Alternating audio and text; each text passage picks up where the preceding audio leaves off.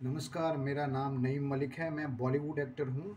मैं टीवी और काफ़ी सारे सीरियल्स में काम करता हूँ। Colors TV Star Plus Southern India और क्राइम पेट्रोल जय कन्हैया लाल काफ़ी सारे सीरियल्स में काम करता हूँ और काफ़ी सारी मूवीज़ में भी काम किया है। तो मैं आ रहा हूँ 22 मई 2022 एक ग्रैंड फिनाले जो सबसे बड़ा ऑर्गेनाइज होने वाला है।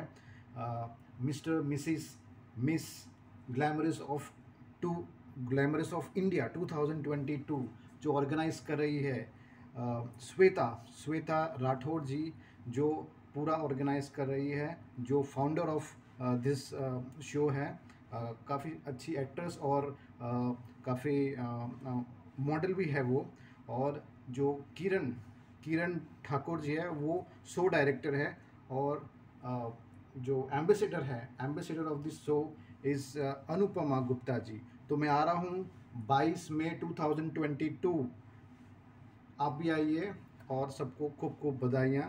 Thank you so much